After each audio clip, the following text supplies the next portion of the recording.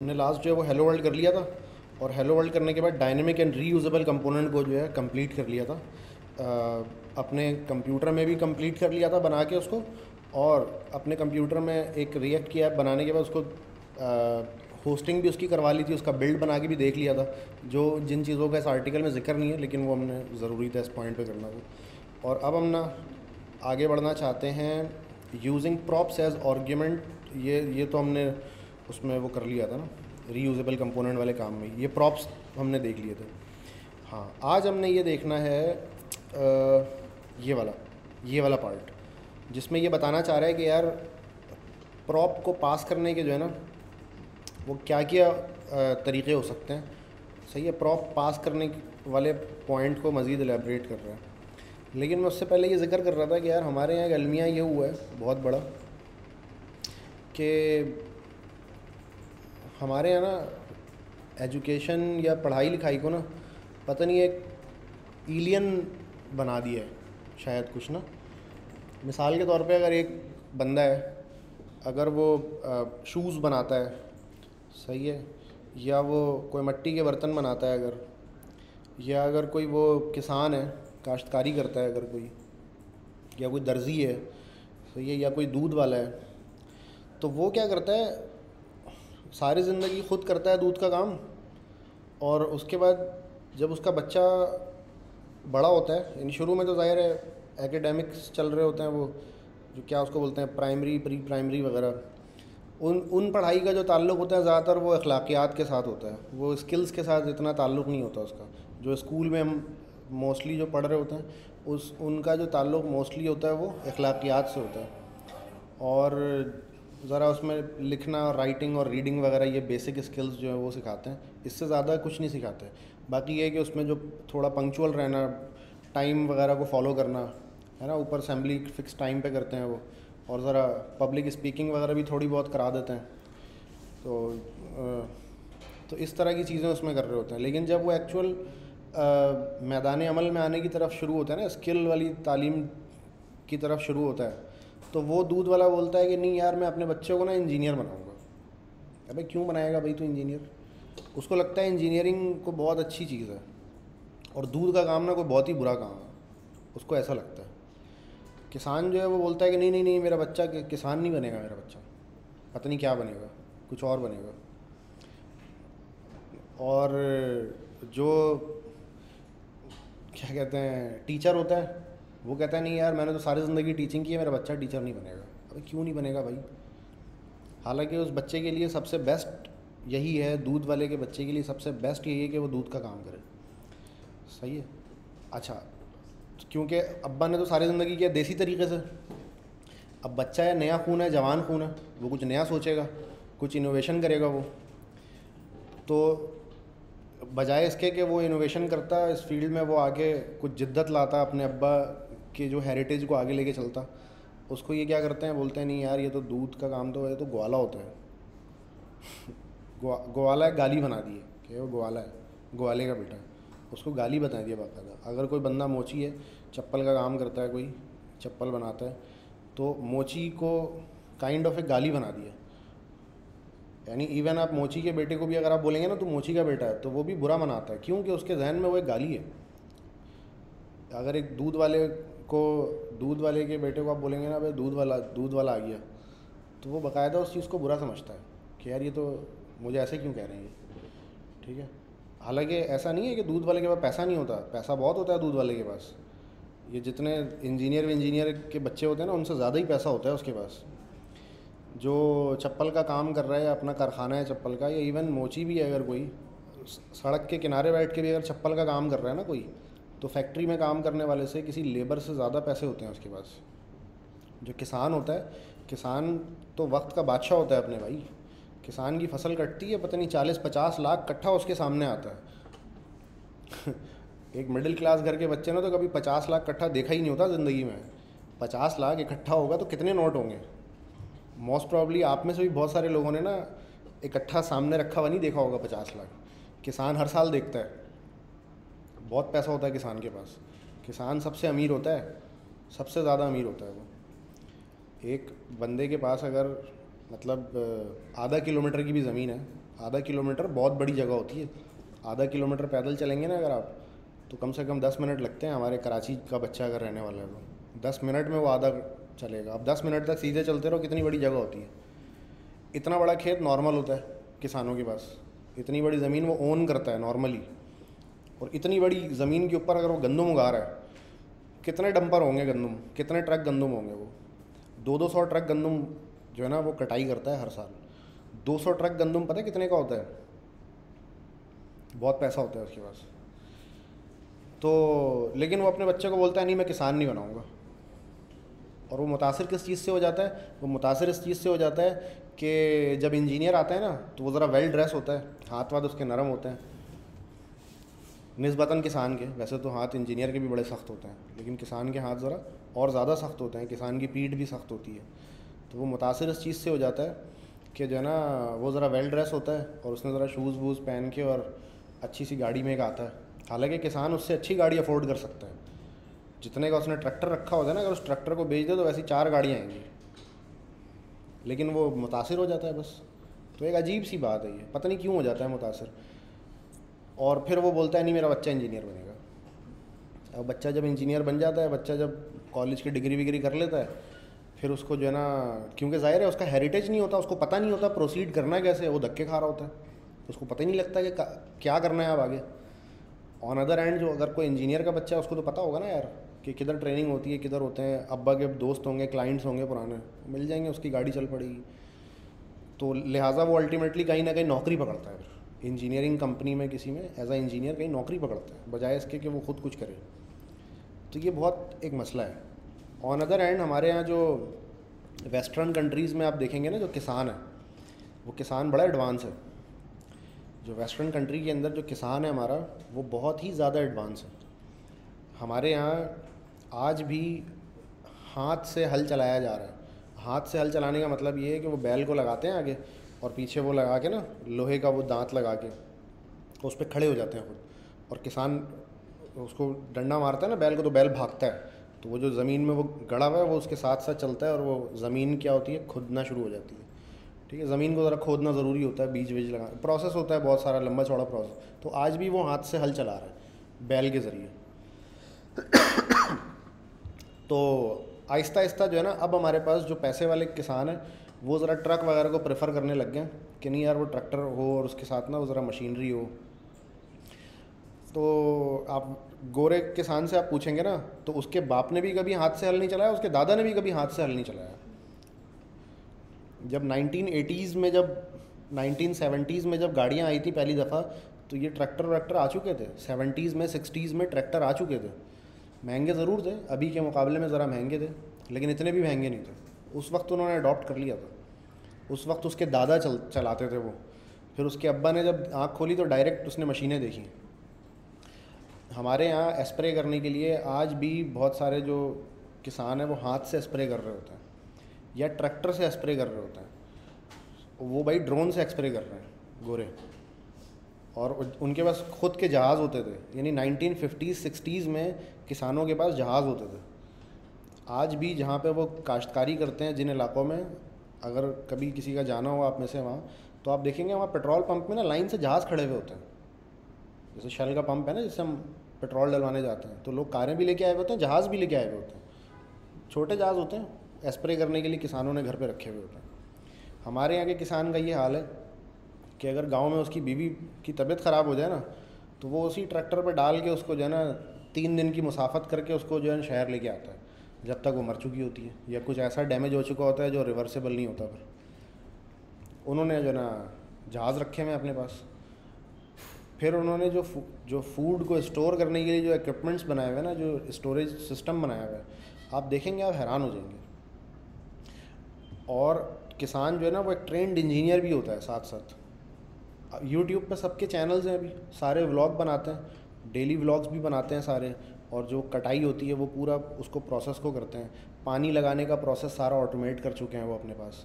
तो वो जितने बड़े रकबे को वो अकेला हैंडल कर रहा होता है ना, यहाँ तो सौ बंदे मिल के भी नहीं कर सकते। तो जब किसान अगर अपने बच्चे को पढ़ा रहा है तो उसको उसका माइंड शुरू से ये बनाना चाहिए कि पढ़ाई करके बच्चा आपने रेलिवेंट पढ़ाई करनी है, जो इससे मुतल हो। इंजीनियरिंग बिल्कुल पढ़ाए उसको, लेकिन इंजीनियरिंग अप्लाई कहाँ करे? इसी खेत में अप्लाई करे। ताकि यही खेत जो आज एक किलो सोना उगल रही है, कल दो किलो सोना उगले।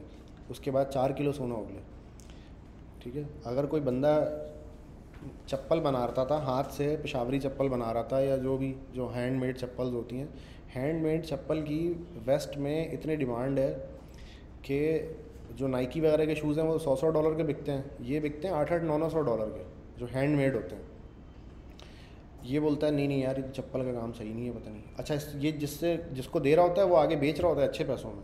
इसको पता ही नहीं होता, क्योंकि ये पढ़ा लिखा नहीं है, इसको फाइनेंस का नहीं पता। इसको ये नहीं पता कि कस्टमर घिरते कैसे हैं, इसको डिजिटल मार्केटिंग नहीं पता। इसको जो है ना अमेज़ोन दराज और ये सारे प्लेटफॉर्म्स का नहीं पता। तो इसको चाहिए अपने बच्चे को, भाई, इसी फ़ील्ड में रखे। अच्छा यहाँ मेरे सामने जो बैठे हैं, ये सारे बच्चे हैं। क्योंकि अब्बा को तो मैं ये बात समझा नहीं सकता। बच्चे को समझा सकता हूँ, लेकिन तो भाई आप जितने भी लोग बैठे हुए हैं आपके अब्बा का आपके दादा का कोई ना कोई हेरिटेज होगा। तो आपके लिए सबसे बेस्ट ये कि ये जो सारी पढ़ाई आप यहाँ पे कर रहे हैं ना इसको अप्लाई करेंगे आप अपने अब्बा के बिज़नेस पे सबसे पहले। ठीक है? अच्छा मैंने भी एक ज़माने में कोशिश की थी मेरे अब्बा ने मुझे करने नहीं दिया। मेरे अब्बा का केमिकल का काम है। तो केमिकल की आ, मतलब ख़रीद के पैकेजिंग करके और उसको रीसेल करने का काम है। तो मैंने कहा, यार, ज़रा वो वो बनाते हैं बैलेंस शीट वगैरह और वो प्रॉफिट नफ़े, नुकसान का पूरा हिसाब किताब रखते हैं ना ज़रा। कॉमर्स वो असल में मैं एक जगह जाता था पढ़ने। कुछ और पढ़ने जाता था, लेकिन मेरे सामने एक दूसरा बच्चा था। उस उस बच्चे को वो टीचर पर्सनली जो है ना कॉमर्स पढ़ाते थे। एक अकेले बच्चे को पर्सनली तो मैं बैठा हुआ होता था सारा तो मैं देख रहा होता था, यार, क्या पढ़ रही है तो वो डबल एंट्री और ट्रिपल एंट्री वगैरह ना मुझे उस टाइम आ गई थी, मैं उस टाइम पता नहीं फाइव सिक्स क्लास में था मैं। तो मुझे वो डबल एंट्री ट्रिपल अच्छा वो था बड़ा कोई कुंदैन बच्चा था वो, उसको छः दफ़ा बताने से समझ आता था। तो वो तो पता नहीं सीखा नहीं सीखा, मैं बहुत कुछ सीख गया था उस क्लास में। तो मैंने ना घर आके अब्बा को ना डबल एंट्री का वो शीट जब बना के दी ना तो अब्बा ने बोला, ऐसे मेरे सर पे हाथ रखा, बेटा इतना नहीं सोचा कर, बहुत सोच रहे थे तेरे बाल उड़ जाएँगे। ऐसा ही तो अब्बा ने बोला, ये तो इतना सा है तो इतना क्यों सोच रहा है? तो इतना इतना लंबा शीट बनाऊँगा मैं। दस तो मेरे कस्टमर हैं टोटल जिनको मैं सप्लाई करता हूँ। तो अब्बा ने बोला, अब्बा को फ़िक्र हो गई बकायदा। कि यार ये इतना क्यों सोच रहा है? अब्बा ने बोला, कोई मसला नहीं है, पैसे हाथ का महल है भाई, आते जाते रहते हैं। अल्लाह देगा, अल्लाह खिलाता है, भूखा नहीं मारेगा। तू टेंशन नहीं ले, सकून कर, सकून। सही है। तो देखो यार, बात उनकी सही थी अपनी जगह। उनको शायद लगा कि पता नहीं, लेकिन करना पड़ता है। आपके बहुत सारे लोगों के आप में से वालदेन कहते होंगे अक्सर, जब आप इस तरह की कोई एडवांस जदीद किस्म की बात करेंगे ना तो वो आपसे कहेंगे कि यार, ये आप बहुत ज़्यादा सोच रहे हो, इतना नहीं सोचा करो। लेकिन उनको ये नहीं पता है कि अब इस दौर में इतना सोचना ज़रूरी है। इस दौर में इतना सोचना ज़रूरी है। इतना सोचे बगैर मसला हल नहीं होगा। क्योंकि जितना पहले वालों ने सोच लिया, अब आपको उस, उन हेरिटेज को आगे लेके चलना है ना, उस हेरिटेज को आगे। तो ज़ाहिर है उनसे थोड़ा सा ज़्यादा सोचना पड़ेगा आगे। अच्छा ज़्यादा नहीं सोचना पड़ेगा, पहले का जो वर्क हुआ है, उसको समझे वो पहले आप। जो पहले से काम लोग कर चुके हैं, उसको पहले आप समझोगे अंडरस्टैंड करोगे और उसके आगे सोचोगे आप, ठीक है? तो एकदम आप निखर के सामने आ जाओगे। तो भाई, इस चीज़ पे गौर करना है कि हमारा हीरो आज किसान नहीं है। हमारे, हमारा हीरो आज वो बंदा है जो डाले पे घूम रहा है और कुछ भी नहीं कर रहा। कुछ भी नहीं कर रहा ज़ीरो उसकी एफ़र्ट्स हैं। डाले पे घूम रहा है और जो ना, बस वो रात को बैठता है चाय वाय पे और वहाँ पे वो क्या कर रहा है, एक फ़ाइल ख़रीदता है, दस हज़ार, पंद्रह हज़ार, बीस हज़ार रख के बेचता है उसको फ़ाइल को। ये काम कर रहा है। कभी अगर एक आध करोड़ वाला कोई प्लॉट हाथ लग गया तो उसमें दो परसेंट ज़रा बीस तीस लाख बच जाते हैं। तो एक दिन में जब बीस तीस लाख आते हैं उसके पास तो वो गाड़ी वाड़ी भी ले लेता है, सब ले लेता है।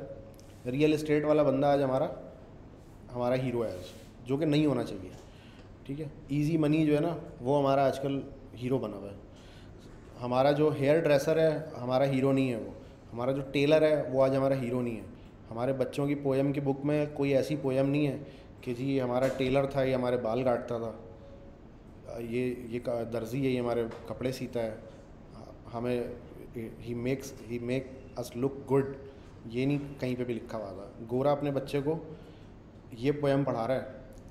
कि hair dresser hair dresser he he cut our hair he make us look good the tailor tailor sews our clothes he make us look good ये वो ये पोएम पढ़ा रहे हैं। तो उन्होंने हेयर ड्रेसर को, मोची को, नाई को, किसान को जो है ना हीरो बनाया हुआ है अपना। इवन फैक्ट्री वर्कर को भी हीरो बनाया हुआ है।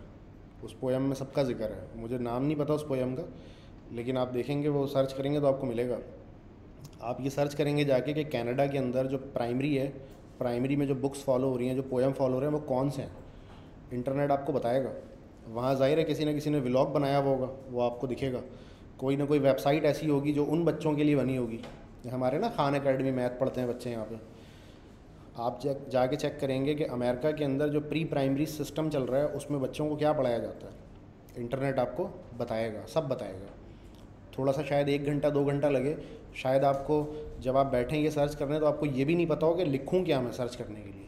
लेकिन थोड़ी देर आप कुछ ना कुछ लिखेंगे ना तो आपको मेक सेंस शुरू हो जाएगा कि अब मैंने सर्च करने के लिए क्या लिखना है। तो ये सारे लोग हमारे हीरो हैं। और अगर इनमें से आपका कोई एक भी हेरिटेज है, या जो भी हेरिटेज है आपका, इन जो मैंने ज़िक्र किया, इनमें से ना हो कोई तीसरी चीज़ हो। जैसे मेरे अब्बा का काम केमिकल्स का है। तो वो केमिकल ज़्यादातर सफ़ाई सुथराई में इस्तेमाल होते हैं। तो मेरे लिए बेस्ट ये था कि मैं अपने अब्बा के हेरिटेज को फॉलो करता। सही है, जो कि अनफॉर्चुनेटली नहीं हुआ, मैं किसी दूसरी तरफ़ निकल आया। मैं जब वहाँ पे मुझे कोई भाव नहीं दिया ही है इतना ज़्यादा तो फिर मैं अपने दूसरे तलाश में निकला और अल्टीमेटली मैं कंप्यूटर तक पहुँच गया यहाँ पे। और जो कि मुझे बड़ा अच्छा भी लगता है आई लव दिस जो मैं कर रहा हूँ आई लव दिस जब ही कर रहा हूँ। तो अदरवाइज़ जो मेरे बड़े भाई हैं, उन्होंने फॉलो किया, अब्बा के हेरिटेज को, उन्होंने केमिकल में मास्टर्स वगैरह किया और वो उसी को परसू करें लेकिन उन्होंने भी बिज़नेस को कोई आगे नहीं बढ़ाया। वो बिज़नेस आज भी वही है, बल्कि वो अब और ज़ीरो परसेंट पर पहुँचा हुआ है। पहले शायद कुछ था, दो चार परसेंट वो अब ज़ीरो ही है पूरा। ठीक है? तो बड़े भाई ने भी अल्टीमेटली फिर क्या की? नौकरी की। वही वाला माइंड तो ये माइंड हमारा हमें चेंज करना होगा और ये माइंड हमारा कौन चेंज करेगा? ये हम खुद करेंगे। ठीक है? बावजूद इसके कि अभी आप सॉफ्टवेयर डेवलपमेंट पढ़ रहे हैं। आप सॉफ्टवेयर डेवलपमेंट पढ़ें, अगर पैसे की नीड है तो फौरी तौर पे आप नौकरी भी करें। पैसे पहले कमाना है। जब आपकी जेब में पैसा होगा ना तो आपके अब्बा भी आपकी बात सुनेंगे, आपके मोहल्ले वाले भी सुनेंगे, आपके रिश्तेदार भी आपकी बात सुनेंगे। ठीक है? क्योंकि जब पैसा होता है ना बंदे के पास तो एक्चुअली पैसे की बात नहीं होती है। बात ये होती है कि ज़ाहिर है इस बंदे ने कुछ मेहनत की है, जब भी पैसा कमाया है। तो वो लोग जब, लोगों को लगता है ना हाँ यार, ये मेहनती बंदा है। तो फिर उसकी बात सुनते हैं लोग। वरना बातें तो हर कोई कर रहा है। ठीक है? तो आपने फौरी तौर पे पैसे कमाने हैं, लेकिन अल्टीमेट आपका गोल ये होना चाहिए, ज़ाहिर है ज़िंदगी में बिज़नेस करना है ना? सारी ज़िंदगी नौकरी तो नहीं करनी है। अल्टीमेटली बिज़नेस करना है। अल्टीमेटली आपने ये नियत करनी है कि आप यहाँ से जो भी कुछ सीख रहे हैं, उसके बाद आप क्या करेंगे? आप उसको अल्टीमेटली एक बिज़नेस में कन्वर्ट करेंगे। सही है, या आपने अब जो एग्जिस्टिंग बिज़नेस है, आपके ख़ानदानी बिज़नेस जो होता है, उसको आप बढ़ाएँगे और उसको टेक्नोलॉजी के ज़रिए इतना एडवांस बनाएँगे कि जो वर्ल्ड स्टैंडर्ड अच्छा उसका भी बड़ा आसान तरीका है। मिसाल के तौर पे अगर आप के वाले साहब किसान हैं या टेलर हैं तो आप ये सर्च करेंगे कि अमेरिका के अंदर जो टेलर की दुकान होती है, वो कैसी होती है। अमेरिका में जब टेलर के पास बंदा जाता है तो वो क्या सवाल पूछता है बंदे से? नाप उसका कैसे लेता है? कपड़ा कैसे सेलेक्ट किया जाता है? जो पूरा प्रोसेस है, वो क्या है? और उसके पास जो मशीनें इस्तेमाल हो रही हैं, वो कौन सी मशीन है? समझ रहे हो? बड़ा आसान हो गया अब तो ये। तो आपने जस्ट देख के कॉपी पेस्ट मारना है। कोई इतना बड़ा दिमाग लगाने की ज़रूरत नहीं है। अगर आप के, अगर आपका हेयर ड्रेसिंग का हेरिटेज है तो आप गूगल करें कनाडा में तो बवाल मचा हुआ है, इतने हेयर ड्रेसर्स की ज़रूरत है वहाँ पे। तो वहाँ पे कनाडा में सारे इंडियन बच्चे गए हैं, वो सारे व्लॉगर हैं, सारे व्लॉग बनाते हैं कि हमारा क्या वो है और पूरा बहुत सारे जो ट्रेनर्स हैं टीचर्स हैं इंस्ट्रक्टर्स हैं हेयर ड्रेसर के, उन्होंने वो पूरा चैनल अपना बनाया हुआ है। आप उसको खोलेंगे, आप हेयर ड्रेसिंग वहाँ से सीखें स्टेट ऑफ़ द आर्ट ठीक है? तो आ, क्या कहते हैं वैसे तो बाल तो कोई भी काट लेता है उस्ताद से सीख के लेकिन उसको पता नहीं होता मैं कर क्या रहा हूँ। बहुत सारी टर्मिनोलॉजीज़ हैं जैसे सॉफ्टवेयर में इतनी टर्मिनोलॉजीज़ हैं वैसे हेयर ड्रेसर में भी हैं। तो ये जो भी बिज़नेस है आपका जो भी पेशा है उसको आपने सीखना है। जो फ़र्स्ट वर्ल्ड कंट्री है उसमें आपने देखना है कि ये काम कैसे हो रहा है। और वंस आपने फ़र्स्ट वर्ल्ड कंट्री का इक्वल करना है उसके बाद फिर अपना दिमाग लगा के उसको मज़ीद एडवांसमेंट देनी है ताकि कल को गोरा हमसे सीखे यहाँ से। ठीक है? अच्छा जी। चलो तो यहाँ तक इस बात को हम रखते हैं। अब हम वापस आ जाते हैं अपने पास प्रॉप कंपोनेंट वाली टॉपिक के ऊपर। अच्छा अब देखो, इसने यहाँ पे बात ये की है कि रिएक्ट डॉम डॉट रेंडर और ये हाई का कंपोनेंट यहाँ पास कर दिया। अब इस हाई के कंपोनेंट को ये क्या करेगा? इस हाई के कंपोनेंट के अगेंस्ट इसको जो भी JSX मिलेगा, उसको ये रेंडर कर देगा। फिर इसने बताया था कि यार ऐसे प्रॉप पास करो आप। ये भी प्रॉप पास हो गया। अब आप यहाँ पे नोट करें कि जो डेव के सराउंडिंग में ना इन्होंने डबल कोटेशन लगाया है। डबल कोटेशन का मतलब क्या है? स्ट्रिंग होता है, ठीक है? एचटीएमएल के अंदर जब हम प्रॉप एट्रीब्यूट जब पास करते हैं तो वो बिल्कुल इसी तरह पास करते हैं। लेकिन प्रॉप पास करने में हम क्या कर सकते हैं? हम इस तरह भी कर सकते हैं। ठीक है? हम इस तरह भी कर सकते हैं। अच्छा इस तरह करने से क्या हो रहा है? आप नोट करें कि ये इतना पार्ट तो इसने जे वाला है, लेकिन उसके बाद ये सिर्फ़ इतना पार्ट जो है इन्होंने जावा कर दिया इन्होंने जावा स्क्रिप्ट कर दिया तो ट्रू लिख के भेजा है। अच्छा अगर मैं ट्रू लिखता ना डबल कोटेशन के साथ तो वो अंदर जो रिसीव होता, वो स्ट्रिंग फॉर्म में रिसीव होता। अभी ये किस फॉर्म में रिसीव होगा अंदर? बिल्कुल इसी तरह एक और प्रॉप पास किया इसने। 64 नंबर। इसको भी डबल कोटेशन में पास करते हो तो स्ट्रिंग में जाता ये। लेकिन अब ये नंबर में जाएगा। जब मैं अंदर मुझे मिलेगा ना ये, और इसके ऊपर मैं कोई नंबर का मेथड कॉल करूँगा मुझे मेथड कॉल हो जाएगा नंबर वाला वो। अच्छा उसके बाद ऑप्शंस करके इसने जो है ना क्या पास किया है? एक पूरा का पूरा जेसन पास कर दिया है। ठीक है? इससे पहले जो हम वो करड ऑपरेशन कर रहे थे तो प्लेन एच के अंदर हमने एट्रीब्यूट में जेसन पास करने की कोशिश की थी। है ना? जो फ़ंक्शन कॉल के दरमियान में। वो कितना मुश्किल हुआ था? स्ट्रिंगिफाई किया था पहले उसको, जेसन को और पूरा स्ट्रिंगिफाई करने के बाद भी वो कुछ मसले कर रहा था। Single code double code conflict मार रहा था। तो इसमें वो काम बड़ा आसान हो गया। इसमें वो काम क्या हो गया? इसने बोला कि ये येलो वाला ब्रैकेट जो है ना स्टार्ट और यहाँ पे एंड है। ये जावास्क्रिप्ट का ब्रैकेट है। और ऐसे आप डबल कोटे वो लगा के डबल ब्रैकेट तो बाहर वाला जो ब्रैकेट है, वो जावास्क्रिप्ट का है और अंदर वाला जो है, वो जेसन का ब्रैकेट है। तो ये अगर जेसन पास करना है तो डबल ब्रैकेट करके पास हो रहा होगा। और ये जेसन एज इट इज़ मिलेगा अंदर। स्ट्रिंग फॉर्म में नहीं मिलेगा ये। ये ये जो जेसन मिलेगा जब तो मैं डॉट ऑसम कॉल करूँगा तो मुझे मिलेगा। डॉट डिसेबल कॉल करूँगा, मुझे मिलेगा। अच्छा इसी तरह ऑन क्लिक करके अच्छा ये प्रॉप का नाम मैटर नहीं करता। यहाँ पे देखो प्रॉप का नाम ना मैटर नहीं करता। प्रॉप का नाम कुछ भी हो सकता है। ये वैल्यू की बात हो रही है जस्ट तो यहाँ पे फ़ंक्शन भी जो है ना, हम पास कर सकते हैं। ठीक है? अच्छा जैसे कि हमारे पास बटन के नाम से एक एलिमेंट होता है एचटीएमएल के अंदर बटन नाम का एक एलिमेंट होता है, ठीक है? या चलो डिव होता है डिव पे भी ऑन क्लिक लग जाता है। डिव पे भी क्या हो जाता है? ऑन क्लिक लग जाता है। तो उसमें तो ये होता था कि जी ऑन क्लिक का जो एट्रीब्यूट था, वो क्या था? वो फिक्स था पहले से। वो एचटीएमएल ने मुझे बना के दिया हुआ था कि जी डिव के ऊपर ऑन क्लिक का एट्रीब्यूट लग सकता है। यहाँ पे मेरे पास जो ये ऑन क्लिक का एट्रीब्यूट है ना, ये हम खुद डिसाइड करेंगे इसका नाम क्या होगा। इसलिए मैं कह रहा हूँ नाम मैटर नहीं करता ये। सही है ये हम खुद बनाएँगे तो ये बनेगा वरना नहीं बनेगा। तो बहरहाल इसका नाम जो सेम रखा जाएगा ऑब्वियसली ऐसा नहीं करूँगा मैं कि इसका नाम कुछ और ही तीसरा कर दूँ।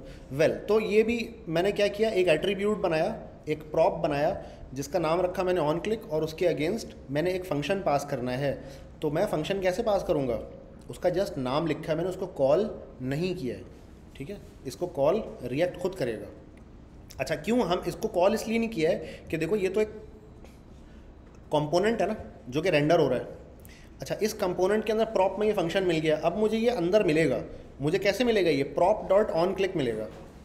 तो प्रॉप डॉट ऑन क्लिक पे ना अंदर जाके मैं कॉल करूँगा किसी सर्टन पॉइंट पे, यानी उसका बिहेवियर क्योंकि मैं डिसाइड कर रहा हूँ ना, कि जी ऑन क्लिक कब चलेगा? तो बिहेवियर मैं डिसाइड कर रहा हूँ तो वो मैं डिसाइड करूँगा कि कब चलेगा ये फ़ंक्शन अच्छा तो वेल, ये कि इन्होंने बात की है कि जी प्रॉप इस तरह भी पास हो जाता है। ठीक है, यहाँ पे इन्होंने ये बात की है कि जी, आप अगर इस तरह करके प्रॉप पास करते हैं तो स्ट्रिंग मिलता है, लेकिन ऐसे करके पास करेंगे तो ये एक्चुअल में बूलियन मिलेगा। ठीक है not everything is a string हालाँकि HTML में ऐसा नहीं होता। एच में everything is string attribute जितने भी होते हैं वो सारे असल में स्ट्रिंग ही होते हैं एच के अंदर। रिएक्ट के अंदर ऐसा नहीं होता। अच्छा ये रिट्रीविंग प्रॉप भी हमने देख लिया है एक्चुअली है ना? प्रॉप डॉट फ़र्स्ट नेम और प्रॉप डॉट लास्ट नेम कैसे करके डिस्प्ले करवा चुके हैं ना? चलो भाई आगे बढ़ते हैं बॉरम ठीक है? अच्छा यहाँ पे एक प्रॉप है दो प्रॉप है तीन इसमें कोई लिमिट नहीं है। तीन चार पाँच छः जितने भी प्रॉप आप पास कर सकते हो अपना खुद का कंपोनेंट है आपका तो जितने मर्ज़ी प्रॉप आप एक्सेप्ट कर लो। अच्छा अब ज़रा एक चीज़ और देख लेते हैं हम यहाँ पे। जैसे कि हमने जावा स्क्रिप्ट में जब फ़ंक्शन पढ़ा था तो ई एस सिक्स वाला फ़ंक्शन पढ़ा था। ई एस सिक्स वाला फ़ंक्शन कैसे दिख, दिखने में कैसा होता है? एरो फ़ंक्शन होता है।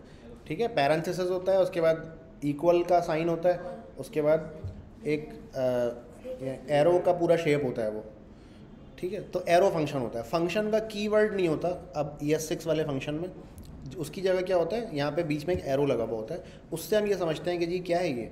एरो फ़ंक्शन है। अच्छा एरो फ़ंक्शन के अंदर एक अच्छी बात ये है कि एरो फ़ंक्शन अब यहाँ पे ये आ जाएँगे ना, नीचे ठीक है, ये एरो फ़ंक्शन बना के इसने दिखा दिया कि भाई एरो फ़ंक्शन इस तरह से होता है। ठीक है अच्छा एरो फ़ंक्शन की अच्छी बात ये है कि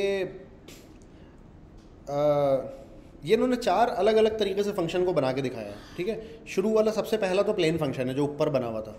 ठीक है, इसमें फ़ंक्शन का नेम है और ये हाई लिखा हुआ है। अब उसके बाद बना हुआ है एक एनोनिमस फ़ंक्शन एनोनिमस फ़ंक्शन भी ई एस फाइव का था ये, जिसमें फ़ंक्शन का कीवर्ड होता है, लेकिन फ़ंक्शन का नाम नहीं होता। फिर इसको क्या होता है कि किसी वेरिएबल में स्टोर कराना ज़रूरी होता है। ठीक है? अब ये इन्होंने यहाँ पे बना दिया इसको एरो फ़ंक्शन ठीक है? और एरो फ़ंक्शन बनाने के बाद इस जगह पे इसने क्या किया?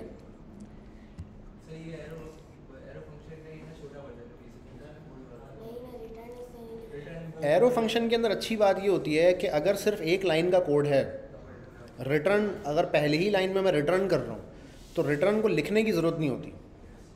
रिटर्न को लिखने की ज़रूरत नहीं होती। यहाँ पे रिटर्न देखो लिखा नहीं है इन्होंने। यहाँ पे एरो बनाया और एरो बना के ये गोल ब्रैकेट डायरेक्ट लिख दिए। हाँ ये डायरेक्ट बल्कि उसको मैं अलग से कोड में लिख के बताता हूँ। ये शायद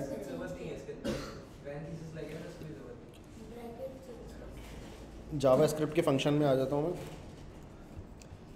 देखो, यही जो मेरा पोस्ट का जो फ़ंक्शन था ना, इसी को मैं कॉपी कर रहा हूँ यहाँ पे और नीचे इसके चार वेरिएंट बना के दिखा रहा हूँ राइट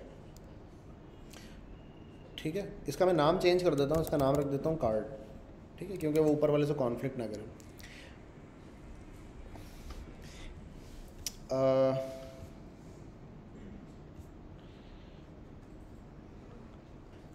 तो इसको अगर मैंने बनाना है एरो फ़ंक्शन तो मैं करूँगा लेट कार्ड इक्वल्स टू और ऐसे करके। अच्छा इसका जो ये डिव है ना, ये इसको मैं ज़रा सिंगल कर देता हूँ, ज़रा छोटा कर देता हूँ, इसका ये एचटीएमएल बहुत बड़ा सारा हुआ है। सही इसको मैंने ज़रा सा अभी छोटा किया है, ताकि समझाने के लिए आसानी रहे ना। सही है। जो पहला इसने शुरू वाली एग्ज़ाम्पल थी मैंने उस तरह का इसको बना दिया। कि जी वो एक एफ़ वो है आपका अच्छा प्रॉप के अंदर जो है ना मैंने कहा भाई प्रॉप डॉट डॉट हाँ। प्रॉप डॉट फ़र्स्ट नेम भी मैंने यहाँ लिख दिया। ठीक है ताकि प्रॉप भी इसमें शामिल रहे। अच्छा तो अभी इसको मैंने बना दिया एरो फ़ंक्शन तो ऐसा फ़ंक्शन बनाने में कोई मुजायका नहीं है। अच्छा एरो फ़ंक्शन ये बोलता है कि अगर आपके पास क्या हो रिटर्न वैल्यू यानी पहले ही लाइन में अगर आप रिटर्न कर रहे हैं अच्छा ऐसे फ़ंक्शन बहुत कम होंगे बाई द जिसमें पहले ही लाइन में रिटर्न हो रहा हो। लेकिन अगर है कोई तो मैं क्या कर सकता हूँ? मैं इसको ना यहीं पे लिख सकता हूँ सामने। नहीं राउंड ब्रैकेट लगाने की ज़रूरत नहीं होती। ठीक है यहीं पे लिख दूँगा मैं सामने। यानी एरो लगाते ही करली ब्रेसेस नहीं लगाऊँगा मैं। जैसे करली ब्रेसेस लगाता था ना, अब नहीं लगाऊँगा मैं वो। और यहीं पे मैं लिख दूँगा डायरेक्ट तो ये ये फ़ंक्शन बिल्कुल सही है। ठीक है? ये सब लोगों को समझ आ रही है बात? अच्छा। अब अगर मिसाल के तौर पे मुझे इसको दो लाइनों में करना है, ऐसे। दो लाइनों में करना है। तो अभी भी ये सही है। गलत नहीं है अभी भी ये। ठीक है? लेकिन जस्ट इसमें राउंड ब्रैकेट लगा देते हैं रीडेबिलिटी के लिए। सही है? रीडेबिलिटी के लिए या सम टाइम आप कोई ऐसी, ऐसा कोड लिख देते हैं ना बीच में जो स्टेटमेंट टर्मिनेशन हो जाती है जिसमें। तो फिर उसमें राउंड ब्रैकेट से वो क्या करता है वो पूरे को होल को मिला के रिटर्न कर रहा होता है। ठीक है? अदरवाइज़ ये मुझे गोल ब्रैकेट की ज़रूरत यहाँ पे स्टिल नहीं है। हाँ अभी उस पर आ रहे हैं। तो ये मैंने गोल ब्रैकेट हटा दिया सही है? अच्छा अब ये जो प्रॉप्स हैं हमारे पास यहाँ पे इस प्रॉप्स के अंदर भी एरो फ़ंक्शन में ये कहते हैं कि अगर एक ही पैरामीटर ले रहे हो आप तो ये भी लगाने की आपको ज़रूरत नहीं है। ठीक है? This is still a valid JavaScript function सही है? अच्छा। तो ये सब लोगों को बात समझ आ गई? अच्छा अगर ये प्रॉप्स नहीं होगा तो फिर मुझे लगाना पड़ेगा। अदरवाइज़ वो एरर दे देगा। अगर एक भी पैरामीटर नहीं होगा ज़ीरो ही पैरामीटर है, फिर मुझे लगाना पड़ेगा। लेकिन अगर एक पैरामीटर है तो ऐसे है। अच्छा अगर दो पैरामीटर होंगे तो फिर फिर भी मुझे लगाना पड़ेगा। ठीक है? दो पैरामीटर लेकिन सिंगल पैरामीटर के अंदर जो है मुझे ये नहीं लगाना होगा। क्योंकि मोस्टली क्या होता है, बहुत सारे फ़ंक्शन ऐसे होते हैं जिसमें सिंगल पैरामीटर होता है। तो इस वजह से ये सिंगल पैरामीटर के अंदर इन्होंने ये चीज़ की है। अच्छा। अब एक चीज़ और भी समझ लो। एक चीज़ कहलाती है जिसको हम कहते हैं डी स्ट्रक्चरिंग डी स्ट्रक्चरिंग क्या होता है? कि जैसे इमेजिन करो एक मेरे पास एरे है। एरे नहीं, चलो ऑब्जेक्ट ही बनाता हूँ मैं। क्योंकि हमारा ऑब्जेक्ट का केस है ना। एरे और ऑब्जेक्ट दोनों में बाई द ये काम हो जाता है। सही है ऑब्जेक्ट हो गया। इसमें मेरे पास एक मिसाल के तौर पर नेम जॉन और क्लास ए बी सी अब मुझे ये जॉन को जो है ना अलग वेरिएबल में लाना है। ठीक है? ये डी स्ट्रक्चरिंग है। ये होपफुली हमने जावा स्क्रिप्ट के ऑब्जेक्ट को पढ़ते हुए होपफुली पढ़ा होगा, मुझे नहीं याद। लेकिन जो है ना, मैंने दोबारा यहाँ पे रिवाइज कर रहा हूँ मैं उसको। तो मैं क्या करूँगा, मैं करना चाह रहा हूँ ना अगर ये तो मैं कहूँगा कि लेट नेम इक्वल्स टू मैं O B J dot name भी कर सकता हूँ। ठीक है? ऐसे भी कर सकता हूँ मैं। और मैं ये भी कर सकता हूँ, इसका बिल्कुल इक्वल है ये। इसका बिल्कुल इक्वल काम ये है कि इसको मैं ऐसे करूँ और ओ लिख दूँ यहाँ। सही है? अच्छा फिर मुझे एक दूसरा वेरिएबल बना के उसमें क्या लेना है? क्लास लेनी है। तो मैं ओ डॉट क्लास लिखूँगा यहाँ पे। और इस वाले केस में मैं क्या लिखूँगा? यहीं कॉमा डाल के क्लास लगा दूँगा। तो अब ये हुआ क्या है असल में? अच्छा क्लास के नाम से वेरिएबल नहीं बना सकते ना क्लास के नाम से वेरिएबल नहीं बना सकते। कुछ कुछ और कर देते हैं, इसको रोल कर देते हैं। जहाँ जहाँ क्लास है ना। सही है उसको रोल कर देते हैं। ताकि क्या हो जाए वो एरर ना दे ठीक है तो यहाँ पे नेम और रोल ऑब्जेक्ट में से मैंने निकाल के अलहदा किया है और मैंने यहाँ पे भी सेम काम किया है। यहाँ पे क्या हुआ है नेम के नाम से एक वेरिएबल बना है रोल के नाम से एक वेरिएबल बना है और ओबीजे के अंदर से ये दोनों वैल्यू उठ के आ गई हैं। सही है? स्पेसिफिक वैल्यूज़ निकालने के लिए। स्पेसिफिक वैल्यूज़ निकालने के लिए। ठीक है? ये काम कर सकता हूँ और सही यही काम सेम मैं एरे में भी कर सकता हूँ। जी।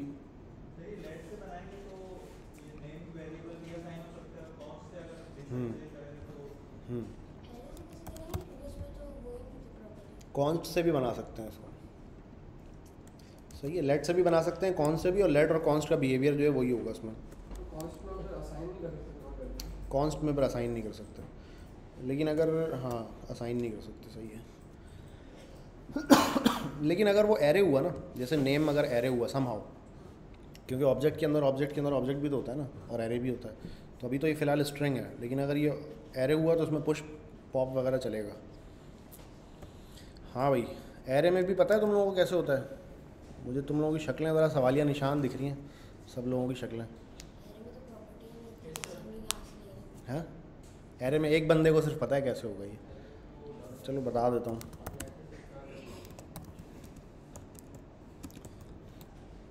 अब मैंने कहा कि यार इसमें कुछ वैल्यूज़ लिखी हुई हैं ऐसे।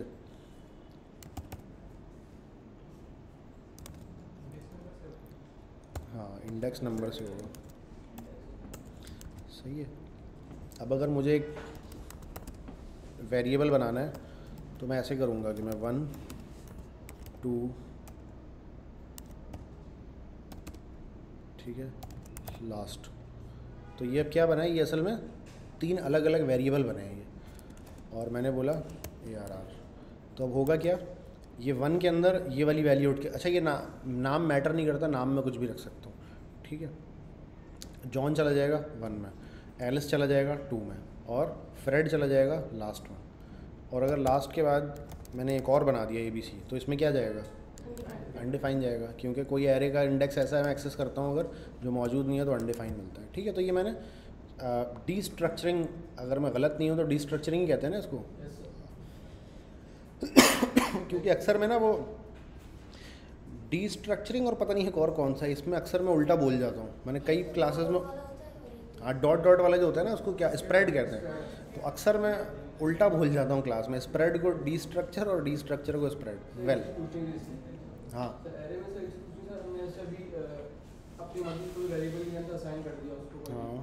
अगर हम डायरेक्ट करें एरे आगे इंडेक्स नंबर लिखते हैं एरे ज़ीरो एरे वन करते वो भी सेम तरीका ही है इसकी हम्म, हम्म। देखो सेम वेरिएबल अगर मैं बनाता ना let one equals to A R R का ज़ीरो इंडेक्स सही है। अगर मैं ये ये ये लाइन ना अगर मैं ई एस फाइव में लिखता अगर तो मैं कैसे लिखता मैं वो बता रहा हूँ। ठीक है? टू लास्ट तीन वेरिएबल बन गए? और उसके बाद वन और टू तो ये तीन लाइन में लिखता मैं कोड ये ई एस सिक्स में एक लाइन में लिखा है। अच्छा अगर आप ई एस फाइव में भी ये लिख रहे हो ना ये कोड तो सही है, ठीक है। ऐसा नहीं है कि अगर आप, आपने एम जी एस की फ़ाइल बनाई है ई एस सिक्स वाली, उसमें बैकवर्ड कॉम्पैटिबिलिटी है, ऐसा नहीं होगा कि आपने ये कोड लिख दिया तो कोई एरर आ जाएगा। सही चलेगा। लेकिन ये ज़रा नए टूल्स इंट्रोड्यूस करवाए गए कहीं पे इसको अगर आप इस्तेमाल करते हैं, जहाँ पे इसकी ज़रूरत है तो वहाँ पे ज़रा कोड आपका शॉर्ट हो जाता है स्वीट हो जाता है। ठीक है? सिंथेटिक शुगर है सारा का सारा। ई एस सिक्स में जो ज़्यादातर जो नई चीज़ें इंट्रोड्यूस हुई हैं, वो सारी सिंथेटिक शुगर है। सिंथेटिक शुगर वो होता है कि फंक्शनैलिटी वही होती है जो पहले थी। ज़रा लिखने में ऐसा होता है कि लिखने वाले को अच्छा लगे और जो कल को उस कोड को कोई देखे तो देखने वाले को अच्छा लगे। ये चक्कर है सारा सिंथेटिक शुगर का, ठीक है? और लिखने में अच्छा लगेगा मतलब है कि वो बाकायदा एक्सपीरियंस होता है यार कोडिंग का। ज़ाहिर अगर लिखने वाले को लिखने में अच्छा नहीं लग रहा तो वो लिखेगा क्यों? तो डेवलपर को ज़रा स्मूथली स्मूथ करने का हिसाब किताब है कि डेवलपमेंट एक्सपीरियंस ज़रा स्मूथ हो जाए। ठीक है? और अगर जब लिखने में अच्छा लगेगा बंदा बोर नहीं होगा एंटरटेन होगा बोर का अपोजिट एंटरटेन ही होता है ना तो जब एंटरटेन होगा तो वो मज़ीद काम करेगा। ज़्यादा प्रोडक्टिविटी होगी ज़्यादा जल्दी सॉफ्टवेयर बनेंगे। तो इसका एक बहुत बड़ा इम्पैक्ट है। सिंथेटिक शुगर कोई आम चीज़ नहीं है। तो इसलिए बेहतर है कि सिंथेटिक शुगर्स को आप हल्के में ना लें। वेल well, तो ये मैंने एक छोटी सी यहाँ पे बात बता दी। अब ये तमाम का तमाम जो है इसको मैं कमेंट कर देता हूँ और मैं आपको बता देता हूँ कि डी स्ट्रक्चरिंग करने के बाद में जैसे प्रॉप है ना, अब प्रॉप के अंदर फ़र्स्ट नेम है। मुझे तो सिर्फ़ फ़र्स्ट नेम ही चाहिए इस कंपोनेंट की अगर मैं बात करूँ तो। तो मैं प्रॉप डॉट फ़र्स्ट नेम नहीं लिखूँगा, मैं यहीं पे क्या कर दूँगा? इसको मैं फ़र्स्ट नेम लिख दूँगा ऐसे में। सही है। और यहाँ पे मैं डायरेक्ट फिर फ़र्स्ट नेम लिखूँगा। अच्छा अब क्योंकि मैंने यहाँ पे ज़रा फ़र्स्ट नेम लिखा है तो यहाँ पे मुझे गोल ब्रैकेट लगानी पड़ेगी। अगर मैं गोल ब्रैकेट नहीं लगाऊँगा ना तो ये उसको फिर कुछ और समझने लग जाता है। सही है। ये समझ आ गया सब लोगों को? तो अब मैं क्या कर सकता हूँ? अब मैं यहाँ पे आकर ऊपर चलता हूँ, मैं अपने कंपोनेंट में, और इस कंपोनेंट को अपडेट कर देता हूँ। एक तो मैं इसको बना देता हूँ कि जी कॉन्स्ट पोस्ट इक्वल्स टू और पोस्ट ऐसे ये हो गया। उसके बाद रिटर्न का जो कीवर्ड है इसकी मुझे क्योंकि ज़रूरत नहीं है क्योंकि पहले ही लाइन में रिटर्न कर रहा हूँ। तो मैं रिटर्न का कीवर्ड हटाऊँगा यहाँ से और इस चकोर जो ब्रैकेट है ना ये वाली मेरी करली ब्रैकेट इसको हटा के इसकी जगह गोल ब्रैकेट लगा दूँगा।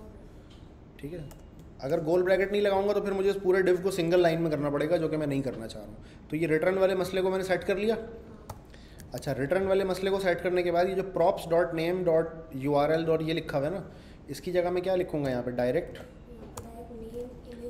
name comma I M G U R L सही है? यहाँ पे नीचे डायरेक्ट अब सीधा सीधा लिखूँगा। और तो कोई चीज़ नहीं है ऐसी जो मैंने यहाँ पे प्रिंट करवाई हो। ठीक है जी। तो ये अभी भी क्या है? वैलिड रिएक्ट कंपोनेंट है। मैंने डी स्ट्रक्चर कर लिया है यहाँ पे प्रॉप्स को। प्रॉप्स को मैंने क्या कर लिया है? डी स्ट्रक्चर कर लिया है। अच्छा ये बताना इसलिए ज़रूरी था, अगर आप ऐसे नहीं करें, आप प्रॉप्स डॉट वाले तरीके से भी करें तो दैट इज़ अ वैलिड तरीका। लेकिन ये बताना इसलिए ज़रूरी था कि ज़्यादातर जो नया कोड लिखा हुआ है ना रिएक्ट का बच्चों ने सारे ने डॉक्यूमेंट्स वगैरह में भी, वो इस तरह करके लिखा हुआ है। अब वो आप बोलेंगे कि यार सर ने तो ये बताया ही नहीं है कि करली ब्रैकेट से ये कैसे होता है। तो असल में ये डी स्ट्रक्चरिंग है। ठीक है? तो डी स्ट्रक्चरिंग आप सब लोगों को पहले से पता है। जस्ट मैंने ये आपको, आपका ध्यान इस तरफ़ दिलाया है। और आर्टिकल में भी इसका इन्होंने ज़िक्र किया हुआ है। आ जाते हैं अब आर्टिकल में आगे क्या बताया इन्होंने। अच्छा यहाँ पे इसने जो है ना वो मीडिया कार्ड अब बनवाया है, जो मैंने लास्ट क्लास में आपको दिया था ना, वो यहाँ पे बनवाया है। कह रहा है write an new component call media card media card में कह रहे हैं एच टू के टैग में आप टाइटल दिखाओ पैराग्राफ में आप बॉडी दिखाओ, और और एक इमेज डिस्प्ले करा दो आप आई करके। ये तीनों आप कर चुके हैं।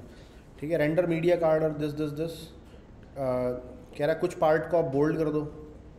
सही है।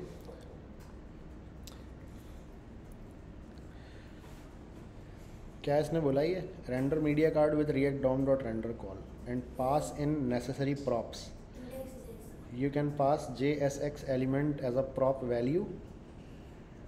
Try bolding some part uh, of body without changing the implementation of media text.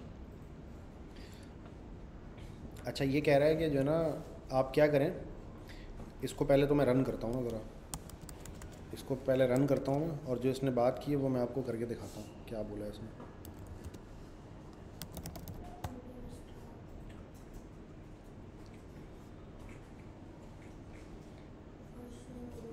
कहाँ है फ़र्स्ट नेम हाँ इसको हटा देता हूँ पूरे एक मिनट, ये एरर देख क्यों रहा था? फ़र्स्ट नेम की स्पेलिंग मैंने गलत की हुई यहाँ से। क्योंकि स्पेलिंग जो है ना, क्योंकि ये तो सही है वैलिड है ये तो। ये तो वैलिड एक फ़ंक्शन बना हुआ है जो कि यूज़ नहीं हुआ, इसकी वजह से एरर नहीं आना चाहिए। वो मैंने मिस स्पेल किया हुआ था, इस वजह से एरर आ रहा था। अच्छा तो जी, ये हमने बनाया था। इसने कहा, यार, ये जो आप बॉडी में टैक्स पास करते हो ना, ये वाला प्रॉप के अंदर तो इस प्रॉप के अंदर जो है ना, कोई जेएसएक्स पास करो आप और देखो फिर क्या होता है। सही है? अच्छा हमने तो ये वाला प्रॉप में पास ही नहीं किया हुआ पैराग्राफ में। ये तो हार्ड कोडेड यहाँ रखा हुआ है। तो इसको मैं ऐसा कट करता हूँ और क्या कर देता हूँ? इसको भी प्रॉप में ले आता हूँ मैं। मैं बोल देता हूँ नेम के बाद बॉडी और यहाँ पे बॉडी को प्रिंट करा देता हूँ। सही है बॉडी और मैं अब यहाँ से क्या करूँगा? बॉडी को भी एज अ प्रॉप भेजने की कोशिश करूँगा। कैसे भेजूँगा भला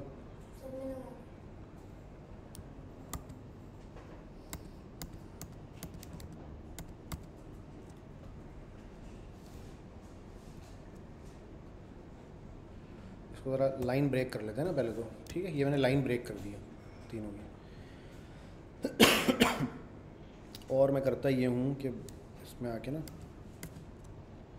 तीनों में मैं सेम पास कर देता हूँ ये चीज़। बॉडी और अच्छा जो टेक्स्ट है ना टेक्स्ट को देखो, मैं ऐसे भी पास कर सकता हूँ, यूँ, ये भी ठीक है। और अगर मैं उसको ऐसे करली ब्रेसेस लगा के पास कर दूँ ना स्ट्रिंग में तो भी एक ही बात है, फ़र्क नहीं है कोई। ठीक है। अच्छा भाई। तो ये मैंने तीनों में ऐसे पास कर दिया। और अब मैं यहाँ पे आके देखता हूँ डिस्प्ले तो सेम ही चीज़ होगी ऑब्वियसली क्योंकि अभी तक मैंने कोई चीज़ चेंज नहीं की। अब ये कह रहा है कि आप जैसे ये टेक्स्ट लिखा हुआ है ना तो अब अब आप क्या करो, इधर आके ना, जैसे हेयर इज़ अ कूल है तो कूल में आप जाके ऐसे बी लगाओ। सही है। तो क्या ये कूल बोल्ड होके दिखेगा स्क्रीन पर देखते हैं। स्ट्रिंग है ये। सही है। अब क्या कह रहा है इसके बारे में?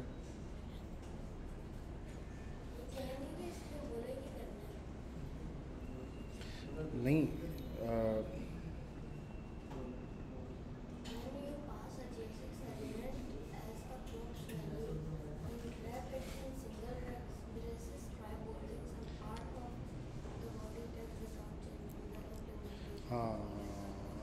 असल में ये वाला जो है ये तो पूरा वो नहीं था ना। तो नहीं? ये असल में मुझे पूरा लगाना पड़ेगा इस पेपर मुझे क्या करना पड़ेगा?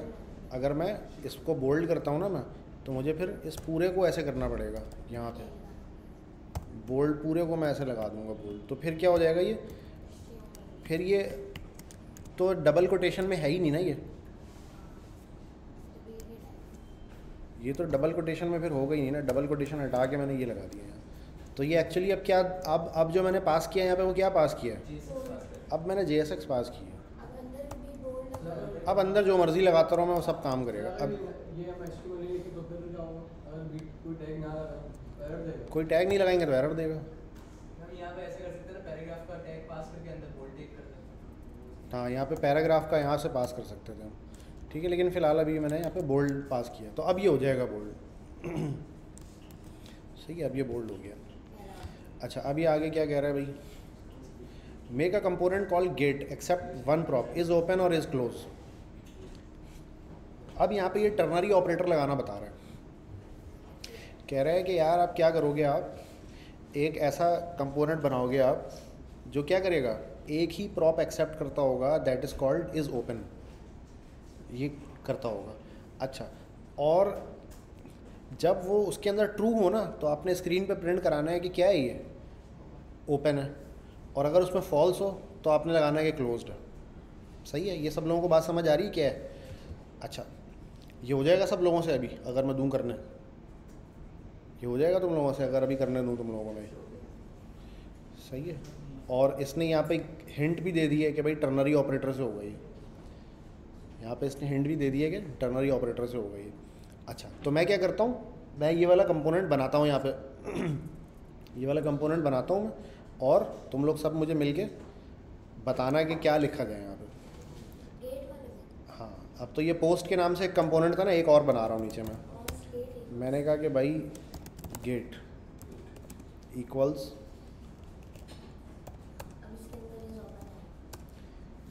अच्छा इसको यहाँ पे ऐसे गोल लगा दूँ मैं, क्योंकि मुझे डायरेक्ट इसमें वही रिटर्न करना है प्रॉप्स में इज़ ओपन नहीं ठीक है? मैंने लिख दिया यहाँ पे और मैंने यहाँ पे बाई डिफ़ॉल्ट लगवा दिया गेट इज़ ओपन ठीक है? बट मुझे इसको क्या करना है? चेंज करना है. और अब मैं यहाँ पे क्या करता हूँ? प्रॉप्स के अंदर इज़ ओपन यहाँ पे इनपुट ले लेता हूँ इससे. तो अब ये गेट इज़ ओपन लिखा हुआ रहा है. अब मैंने इसको क्या करना है? कंडीशनल रखना है. इस ओपन को जो है, इस ओपन वाले पार्ट को मुझे कंडीशनल बनाना है. तो यहाँ पे मैं क्या कर दूँगा? ऐसे जावा स्क्रिप्ट लिख दूँगा. और जावा स्क्रिप्ट के अंदर अब यहाँ पे मुझे कंडीशनल करना है इस पार्ट को ना कि अच्छा क्या मैं यहाँ पे इफ़ की स्टेटमेंट लगा सकता हूँ?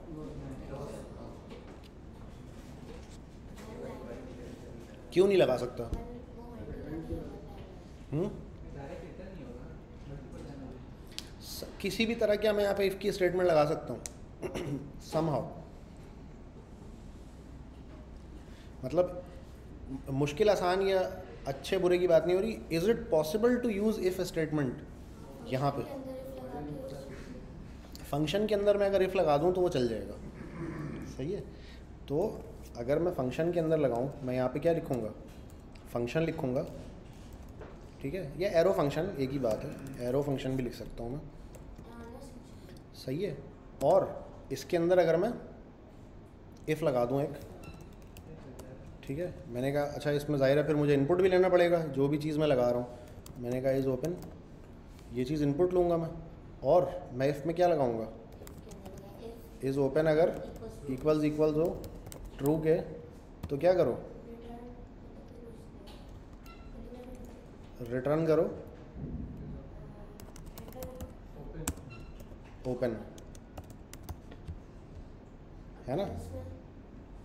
अच्छा ये फ़ंक्शन को भी ज़रा मैं मल्टी लाइन कर दूँ अब। मेरा जावा स्क्रिप्ट जो है वो, अभी तो समझ ही नहीं आ रहा होगा ये फ़ंक्शन में आ क्या गया है। ये मेरा फ़ंक्शन है।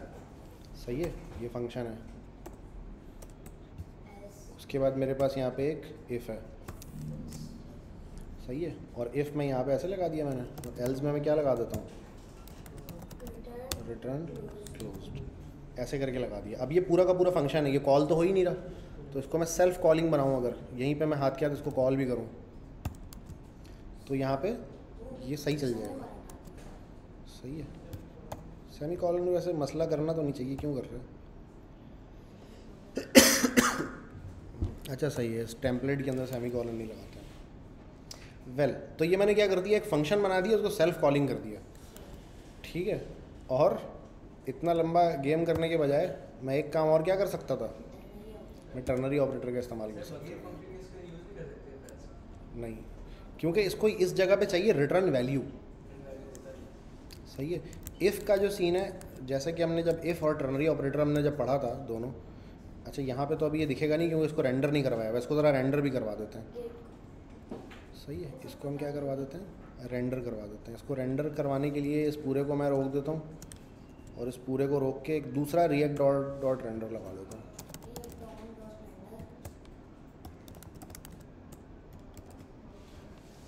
सही है और मैं यहाँ पे कह देता हूँ कि भाई गेट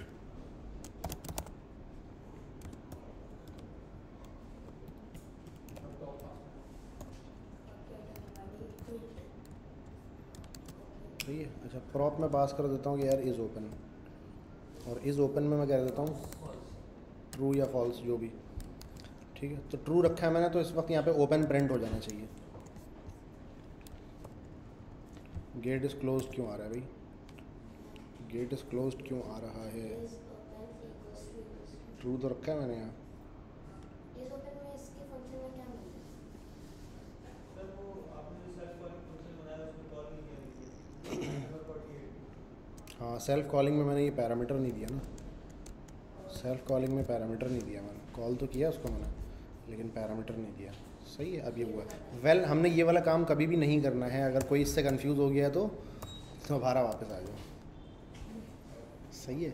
मैंने जस्ट ये दिखाया है कि हम टर्नरी क्यों लगा रहे होते हैं। टर्नरी हम इसलिए लगा रहे होते हैं कि ज़रा सा यहाँ पे असल में चाहिए क्या होता है कि जो है ना, यहाँ पे जो भी बात लिखी हुई है, उस जगह पे, क्योंकि ये इतने ब्रैकेट को ये सिंगल वैल्यू पे इवेल्यूएट करने की कोशिश करता है और इसकी जगह जो स्ट्रिंग आता है, उसको यहाँ पे रख देता है ये। तो मैं इफ़ से भी ये काम करवा सकता हूँ, लेकिन that would be a longer code तो मैं क्या लगाऊँगा यहाँ पे टर्नरी ऑपरेटर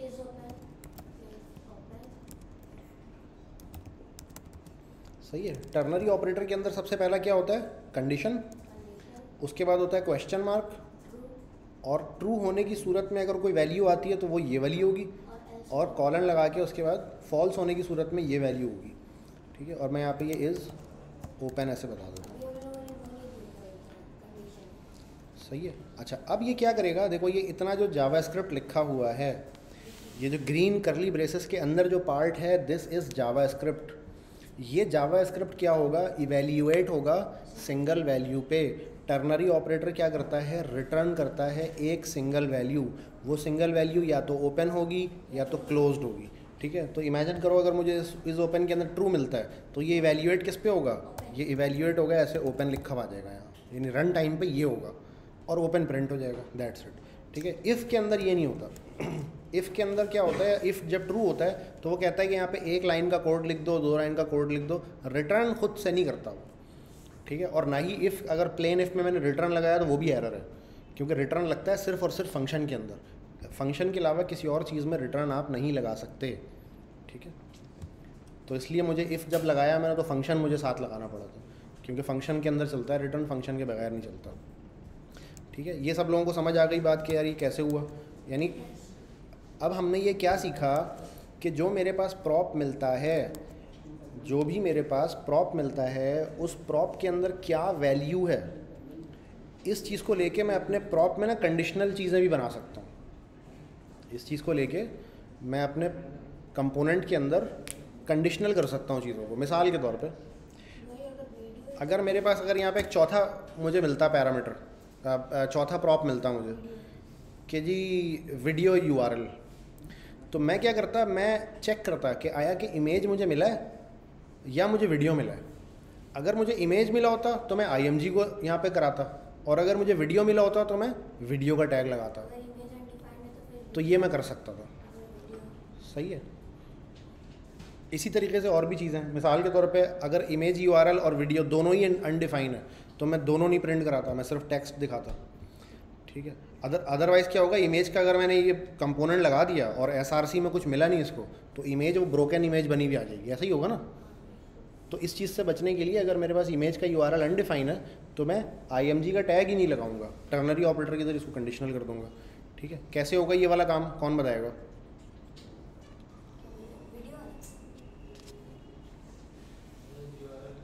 अभी मुझे ये करना है कि अगर आईएमजी अगर इमेज यूआरएल में मुझे अनडिफाइन मिलता है। तो मुझे इमेज का टैग लगाना ही नहीं है।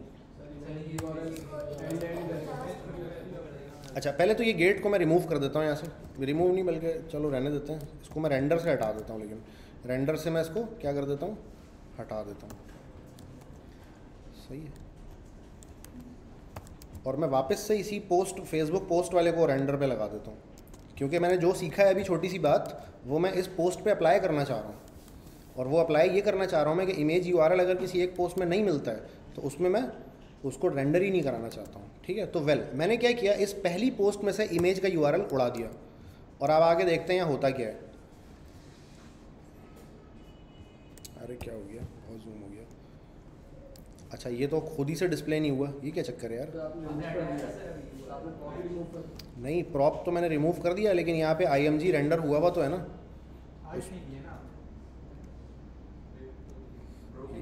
इसको तो ब्रोकन इमेज दिखाना चाहिए मेरे ख्याल में। तो आर्ट का ऑप्शन ही दिया।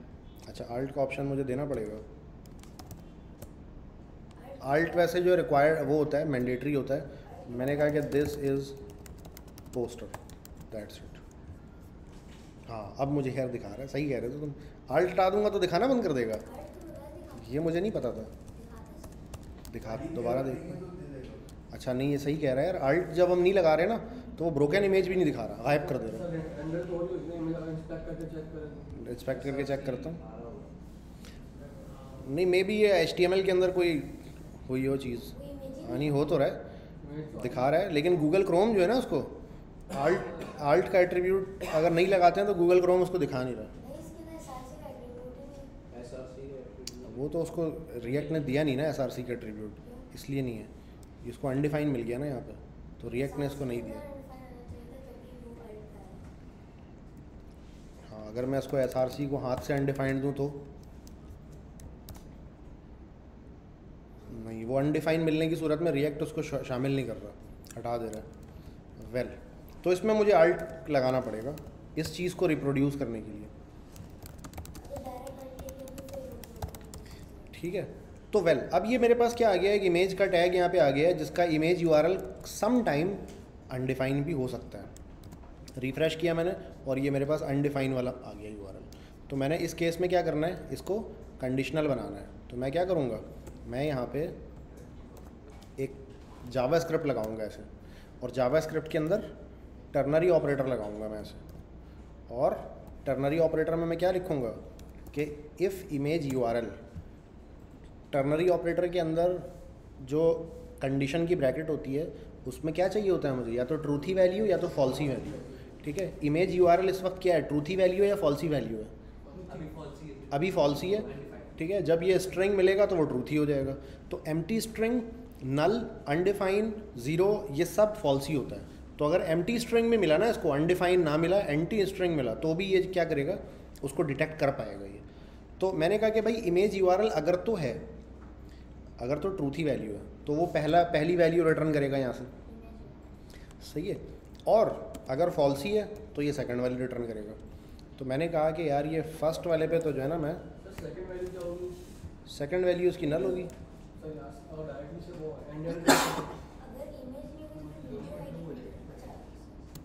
एंड से करेंगे? एंड एंड से भी हो जाएगा लेकिन ये ज़रा सा मतलब जैसे अच्छा ये इसमें मैं स्ट्रिंग नहीं लगाऊँगा डबल कोटेशन ये जे डायरेक्ट लिखा जाएगा। ठीक है?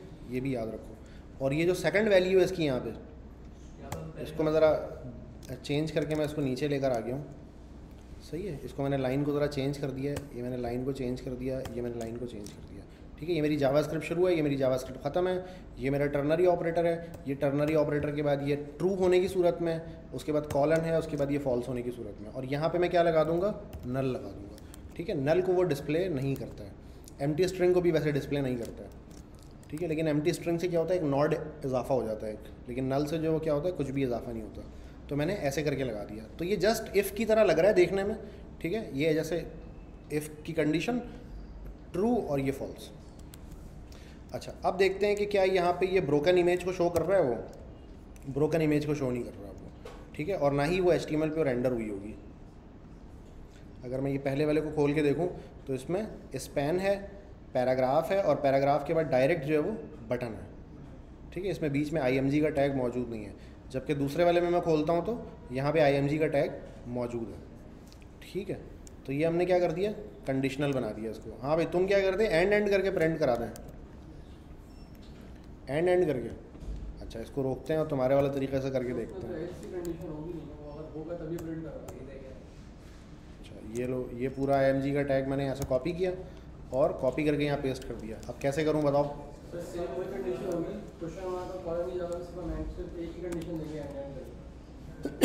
ही image U R L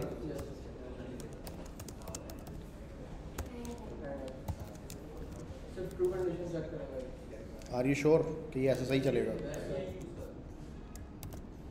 हाँ चल तो रहा है सही। सर वही चीज़ इसमें इसमें एल्स नहीं होता सिर्फ़ एबी होता छीनी ज़्यादा है हाँ।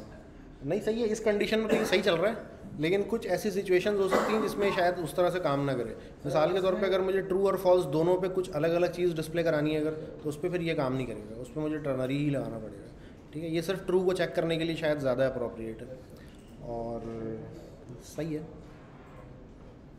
कंडीशन हमारी भी ऐसी है कि वैल्यू हमें सिर्फ़ एक ही मिलनी है अगर टू है और एल से एल से तो फिर हम क्वेश्चन पूछ सकते हैं सही।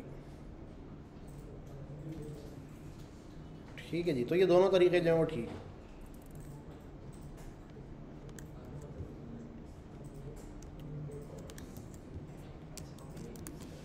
सही है। अच्छा ये तो मैंने समझाने के लिए इसको तीन लाइनों में कर दिया है, लेकिन ज़रूरी नहीं है आप इसको तीन लाइन में करें। और होपफुली आप इसको ज़्यादातर केसेस में ना ऐसे एक ही लाइन के अंदर लिख रहे होंगे आप इसको। ठीक है? इसको मैं वापस एक लाइन में कर देता हूँ just to avoid any confusion ठीक है? ये मोस्टली आप इसको एक ही लाइन में इस तरह करके लिख रहे होंगे। इसको तीन लाइनों में लिखने की ज़रूरत नहीं है। लिखना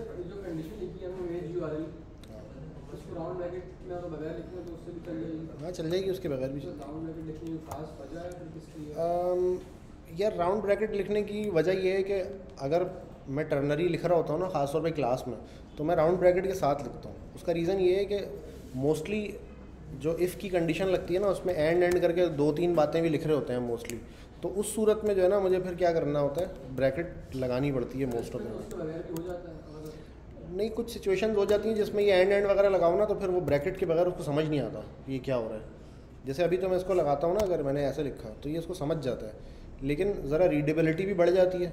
अब देखो इसमें अगर गोल ब्रैकेट नहीं लगी हुई ना तो ये समझ नहीं आ रहा वो है अंदाज़ा नहीं होता अंदाज़ा नहीं होता। उसके अलावा जावा स्क्रिप्ट भी ना कुछ ऐसी सिचुएशन आती है इसमें कि जावा स्क्रिप्ट भी कन्फ्यूज़ होता है। उसको समझ नहीं आता कि क्या हो रहा है। तो गोल ब्रैकेट से ना उसको एज अ होल कंसिडर कर लेता है वो। ठीक है तो इस वजह से मैंने गोल ब्रैकेट यहाँ पे लगाई है।